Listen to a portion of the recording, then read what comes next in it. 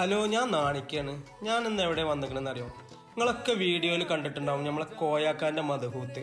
കോയാക്ക് ഞാനും പരിചയപ്പെട്ടിട്ട് കുറച്ച് കാലമായിട്ടോളും ഇഞ്ചി എല്ലാ വീഡിയോസും കാണുന്നുണ്ട്. ഞാൻ പറഞ്ഞ വെജിറ്റബിൾ ഹോട്ടലിലാണല്ലോ അപ്പോൾ പിന്നെ കോയാക്ക് എന്നോട് ഒരു ദിവസം എന്റെ വീട്ടിൽ എന്റെ കടയിലും വന്നുകൊണ്ട് ഞങ്ങളെ ഫുഡ് ഒന്ന് കഴിക്കണം നാണിക്കാന്നൊക്കെ പറഞ്ഞിട്ടുണ്ട്.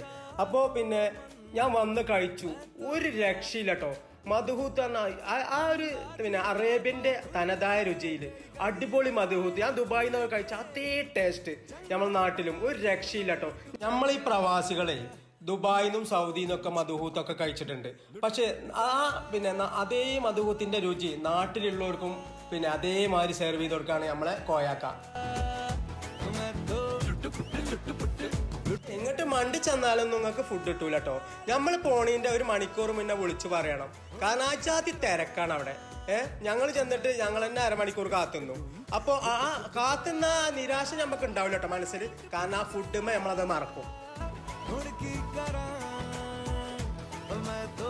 ചിക്ക് പക്ക് ദും ചിക്ക് പക്കതും.